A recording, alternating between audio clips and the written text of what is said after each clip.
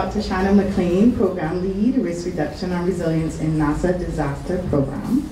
Mr. James Rodriguez, Public Relations Officer, and other USA Embassy personnel, fellow commissioners, girls, good evening.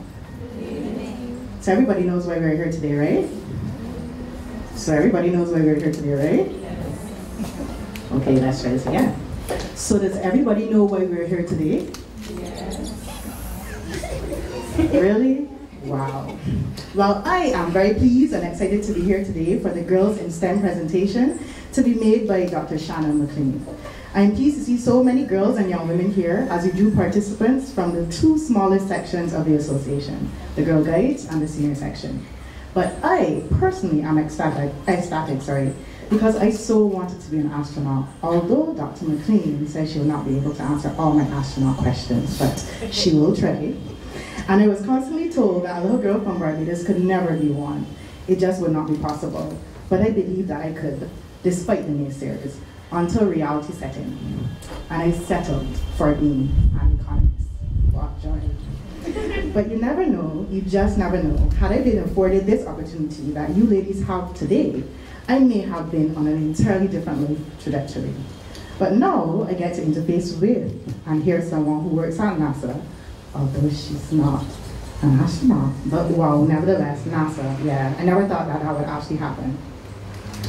And now to see that you young ladies will be given the chance that I didn't have all those years ago, that's just cool. That's just excellent for me. That's not to say that we do and did not have girls and women in the STEM workforce and that it has not been accepted. It's just that persons have been speaking out more and engaging and trying to empower girls and young women to move more into STEM related areas and promoting the belief that they can be anything they want to be and do anything they want to do, scientists included. When the association was approached to host this session, I immediately consented, as there are a number of girls and young women, as we can see here, who, although having an interest in science, technology, engineering, and mathematics, do not always have the avenue, sorry, or opportunity to hear about or interact with persons who are in the various fields, or who have even reached certain levels of the said fields, as often as they would like. So we thought this would be an excellent time to seize this chance. These do not come along very often on our small island, as you know, so it is at this time I will say a great big welcome to all of you, but in particular to Dr. McClain, to not just Barbados, but to the Girl Guides Association of Barbados. I trust that your words will encourage the young ladies here to tap into a whole new world and thus reach and even surpass their wildest dreams and potential. potential sorry. So once again, welcome. Thank you. All right, everybody. Good afternoon. Good afternoon. Good. All right. So I'm with the U.S. Embassy. I'm the Public Affairs Officer, James Rodriguez. And one of the things that, one of our priorities as a mission is to increase the amount of women in STEM. Who knows what STEM stands for? Technology, engineering, There you go, there you go. And who is going, who is thinking about entering one of those fields as a career? Yes, good, good as the father of three daughters, oh, one of which looks like is going to be a scientist, which I'm happy about. One of them is going to be an artist, which worries me though. Um, I, I, I, really, I, this is something very personal to me, and this is something that I'd love to see more young women get interested in, get involved in, and make a career out of, uh, career out of. Because you guys really do bring a different perspective to the community to wherever you're going to work, and that's absolutely necessary. So, without, I don't, I don't want to talk too much more. I'm just going to say thank you so much for being here. Um, I hope that you're going to get a lot out of the presentation and ask a lot of questions. This is a conversation. This isn't a lecture. So please ask questions. And with that, Dr. Shanna, there you go. Thank you. Thank you very much. So James is right. Um, what I want to do is talk with all of you today, not talk at you. So if there's something that I'm saying that's of interest to you along the way, or that you want more information about, just let me know. Raise your hand, um, you know, and let's have a discussion about, you know, how I work at NASA, how I got there, um, and maybe I'll talk a little bit about, um, you know, how I started out too.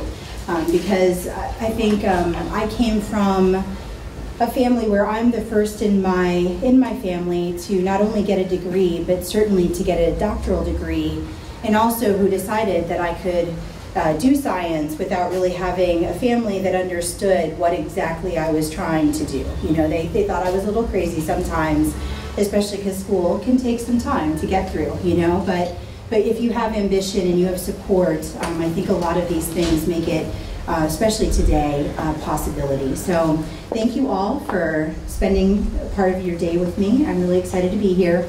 And just to start, this is me um, in water and at my happiest, which is kind of how I started out. I'm right here in my sunglasses. um, ever since I was a little girl, I loved water. I loved the oceans. I grew up in Miami, Florida. I was always on the beach. I was scuba diving, I was snorkeling, I loved fish, I loved just being a part of nature. Um, I also loved lakes and, and rivers and being able to just be a part of nature. And I think I recognized really early on that, you know, that we have a, a, a connection, right? I mean, we need water, um, but I think we also need to be a part of nature, um, to be happy and to really understand how we connect and how we're connected um, to, uh, you know, it's supplying food and different things for us. Um, and so I think similar to maybe some of the rules that you guys have to follow within your group, I felt it was my role to protect to protect nature and to make sure that I was protecting a system that I felt was really important. And so when I got out of high school, I, um, I started a bachelor's degree in environmental science. And so with environmental science, you learn a lot of chemistry and biology and math and engineering, and it teaches you about how environmental systems work, like more broadly. And from there, um, when you get your bachelor's degree, you you study a lot. It's a lot of like really broad kind of things, but eventually, if you move on to a master's or a PhD, you start really honing into the things that you care about specifically. Um, sometimes it's such a narrow perspective that some, you know, it's a little too narrow, but for what I hope to do, um, I moved on from my bachelor's and get, went to get a master's on looking how water and humans, uh, how we as a population or community would manage water.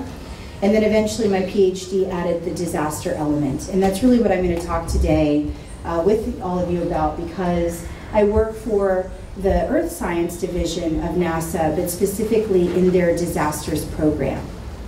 And so all of the, the chemistry and the biology and the engineering kind of came together where as an environmental scientist, I'm able to help NASA understand the impacts of disasters on both the environment but also on people like us. And I think our primary goal, um, NASA has a larger mandate just to explore and and the unknown and have it help the benefit, like to the benefit of humankind. But what I'm trying to do with our program is have us better understand how the science that we do can help save lives, either by pre preventing or preparing for a disaster, or by better responding or recovering from disasters. So when people are in settings like this, we want to be able to get the information to emergency responders and other groups of people the information they need in order to make smart decisions. So I'm going to talk a little bit to you about like how we see the different types of information that can inform decision making. Is everybody with me so far? Do you have any questions? Are we good? Okay. So one of the ways that we look at Earth as a system to see a changing environment is through the International Space Station. Have any of you heard of the International Space Station before? Yeah? Do you know what's on the International Space Station? Anybody been there? yeah, has anybody visited the International Space Station? Not yet, right? So on the International Space Station are at any given time about six astronauts. It is a it is the only uh, currently manned space operation that we run. Um, it's run, it's managed by NASA, but it's jointly uh, run by a number of other um, agencies to essentially promote diplomacy with other countries, like the European Union, Russia, and others. And so Um, I think one of the astronauts up there right now is Russian as well. There's usually people from different parts of the world um, reflecting on the different countries involved up on the station. And they do really cool science. Um, a lot of them are looking, the astronauts that are there, live there for a short time because the effects from space can be pretty rough on you. Um, but they, they try to see if they can grow crops in, um, with zero gravity. And they try to also see if the types of bacteria that we see here on Earth are somehow impacted differently in space.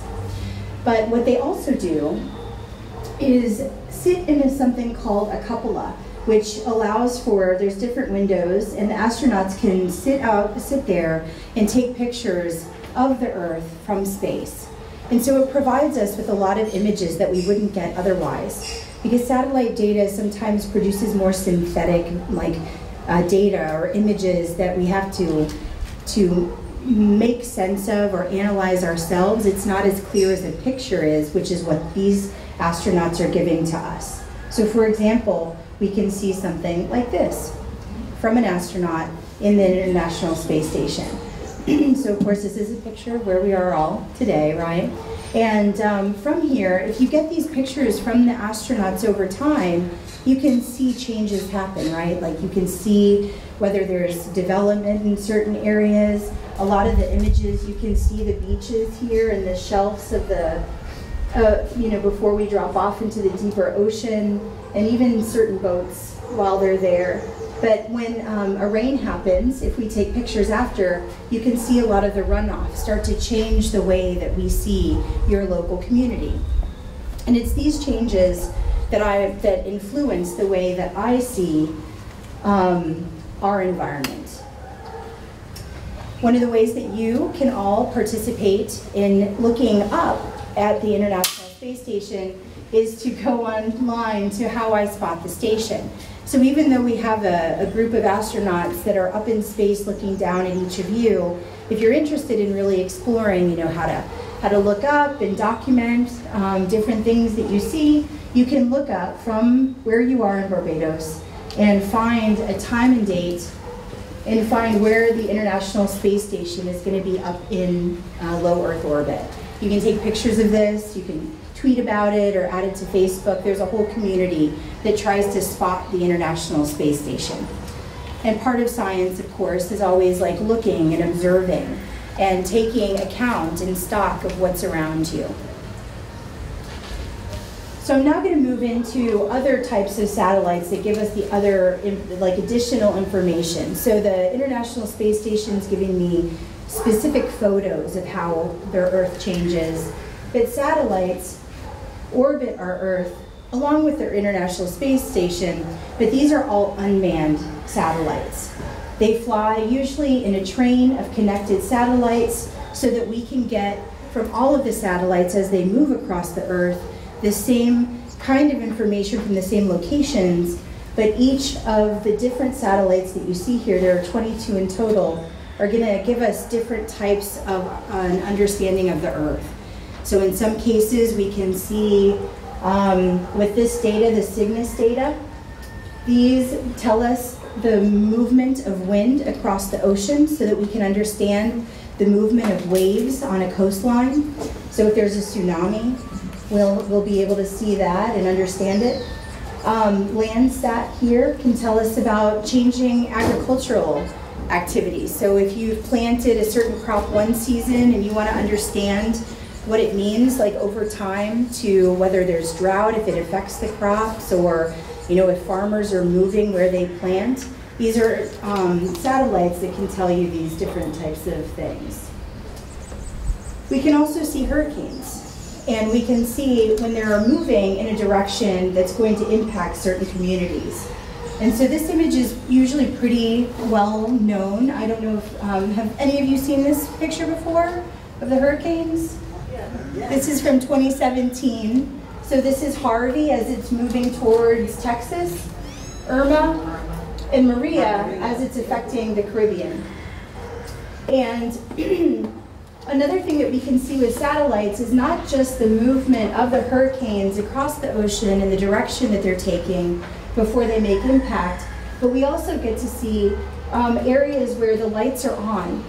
You know, and what this means usually, I mean, we can tell like where cities are, so you can see um, some of the islands here and here, and parts of Mexico and Central America, and then all the lights of, of Florida, including where Miami is here, in Fort Lauderdale. So these are dense populations.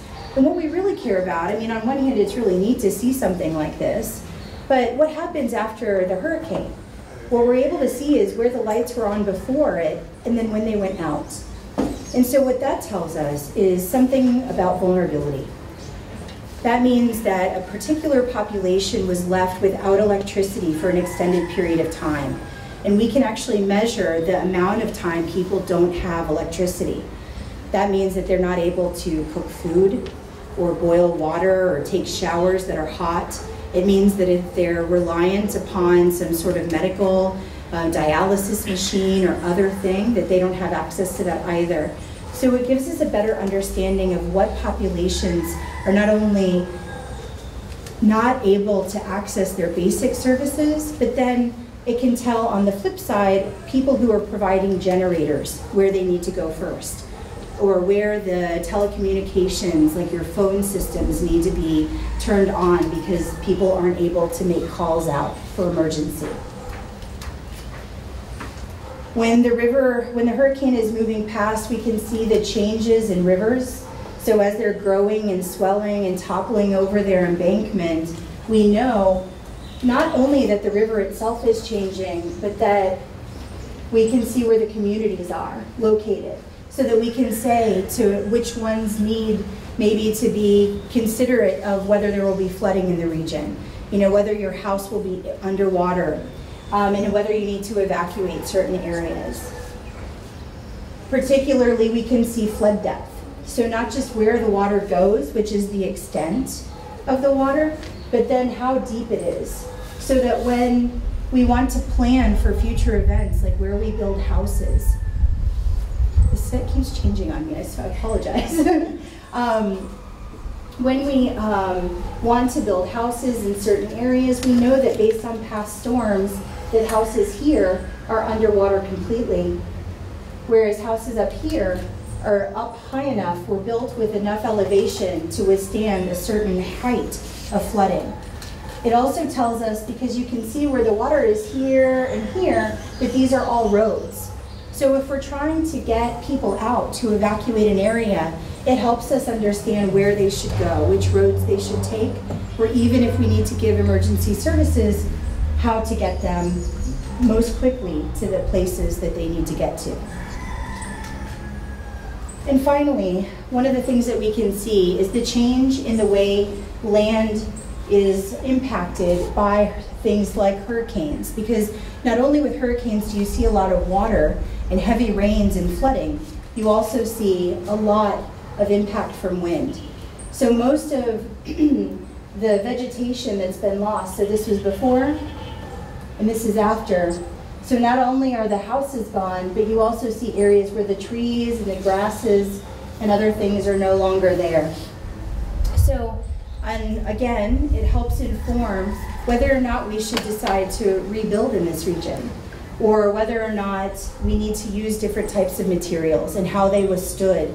You know, I mean, in some cases you can see certain houses still standing. You can start to ask questions like, well, did they use a different material from the ones that collapsed? And is that something that we should consider the next time around? So all of these different types of information and data are the things that I use to try to inform how we make decisions about saving human lives, how to prepare for disasters, and how, how we can also start to learn how to build back better and recover in a more smart or um, intelligent way. And before I talk and move on to the next section, does anybody have any questions about any of the data or things that I've reviewed? Yeah. Have you ever received photos of like, say, Fourth of July or New Year's Day, we have like fireworks in the sky? Yeah. Yeah, some of those are really exciting actually. Um, we have, NASA has an entire um, kind of uh, website that's dedicated to uh, things that I think the public are going to use, like, you know, for celebrating different things or seeing some of the, the more, the prettier parts of the data that we have. Um, so maybe not something like this, but if you go to earthobservatory.org for NASA, um, then you can start to see some of the pictures that we have of people celebrating um, throughout the world, um, fireworks, but also, you know, different uh, New Year's celebrations where there's lanterns that are um, flown up, floated up into the sky that are, you know, lit down on the ground and then floated. And um, there are a number of ways that uh, satellite data can be used to see um, not just the bad things, but also a lot of the really pretty and good things. Yeah. Other questions? No? Okay. So I'm just going to finally talk to you a little bit about some of the cool things I think that NASA has that can engage you if you're interested. Have you all heard about citizen science? Does anybody know what it is? No? I would imagine that maybe some of you already participate to some extent um, today, but essentially it's when people go out, you know, they, we leave our house, we go out into the yard, and we start looking at different things that are around us. Um, some people will take a telescope and look out at the planets and the stars, and others want to observe the clouds or the trees or different things around them. All of this helps NASA specifically because our data only tells you so much. It can only get so close. So when you think about the picture of Barbados and Bridgetown, we can see the houses, right? But we can't see an individual person. And so when, when you go out into your community and you tell us about the things that you see, then we can bring, we can match that with the data that we have so we get a clearer picture of what's really going on. It's uh, actually called ground truthing, where we're able to validate what we think we see with satellite data from the data and information that's given by all of you. So if you go on online, um, NASA has a globe observer, and there are different things that they ask you to do. So essentially, you can go online and you know you can look at clouds and tell them about like the shape of certain clouds, and that will help them understand whether or not there are certain environmental changes that happen when a cloud looks a certain way, like rain, right? Like as clouds get higher and more stacked, we know that most likely their precipitation and rain is forming um, and that a storm is coming in. You can be a part of mosquito habitat mapping. Can anybody guess why that might be important? Does anybody have any thoughts? Do you want to? No? So we care about where mosquitoes live, right? Because when, when they're standing water for a very long period of time, it usually creates uh, the perfect habitat for mosquitoes to form. And mosquitoes, like most insects, rapidly multiply, right? So what can happen is if there is a mosquito that's carrying a particular disease and it's rapidly multiplying, we really want to get a handle or understanding of where the mosquitoes' habitats are located. And so there are ways for us to actually use satellite data to understand where it's likely that the mosquitoes might be living, um, especially following like a storm that's going to cause a lot of water to be pooled in particular areas. But if we have people like you who go out and can tell us like where they, they see standing water or where different things, um, where it's likely to be, then you give us a better understanding of like how good the satellite data is. You can also look at land cover and trees, and then there are other um, citizen science um, activities that you can participate in as well. And we also have a Women and Girls Initiative, which when you go here, you can learn not only how to participate in like different activities that might be occurring in your area, but there are also a number of internship and fellowship opportunities available. So as you're getting through high school and you're looking for um, you know, what to do when you, before you enter into college. There are activities that you can participate in, um, both before college and then while you're in college as well, and leading up, of course, to professional career. And so I'll just quickly, um, and again, we have a lot of like STEM related activities specifically on these websites. So um, whether they're puzzles or just learning more about the different women in STEM at NASA, all of these things are available. And we have a large support. I mean, one of the things that was really neat about coming to NASA is that you don't, I think sometimes in college you can be surrounded by a lot of, of scientists that are just boys, right? Just males. And um, a lot of time I wasn't really sure because I was the first person in my family to go to college. You know, I didn't really know if I was always pursuing the right path. Um, I mean, I loved it and I thought that that was what mattered. But what's also neat is when you come to NASA, you get to see like how many people are just like you, who have interests, who are able to find a way. Um, and even though I never thought I'd work at NASA, there are a lot of people whose specific goal was to, to work with NASA in different ways. We have, um, uh, actually Sandra Cauffman is my boss. Um, she runs the Earth Sciences Division. She's from Costa Rica. Um, she never, um, also, she, she's an engineer. She's helped build um, a number of the satellites that we've talked about today. Uh, the woman in the middle is from Trinidad um, specifically, but throughout NASA, I think we have a really well work, warm and welcoming environment of like promoting STEM and particularly women in STEM. So if I can answer any questions, um, please let me know. It's been really nice talking to you about what I do. Thank you.